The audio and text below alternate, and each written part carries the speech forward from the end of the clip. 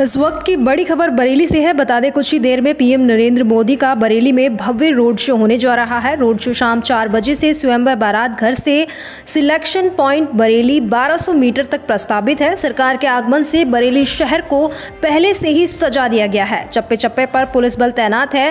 पैंतीस से ज़्यादा पुलिस कर्मियों को इलाके की सुरक्षा में लगाया गया है। वहीं रोड शो के लिए जिस वाहन का प्रयोग किया जाएगा, वो बीजेपी कार्यालय में पूर्णतः भगवा कलर में रंगा हुआ है और जिसके चारों तरफ़ पीएम मोदी के फ़ोटो लगे हैं। इस पर सवार होकर पीएम नरेंद्र मोदी बरेली की जनता से लोकसभा चुनाव में अपने लिए वोटों की अपील करेंगे। वहीं पीएम मोदी की रैली को लेकर पूरे शहर का रूट डाइवर्ट कर दिया गया है, जिससे सरकार के आने पर जनता को परेशानियों का सामना न करना पड़े।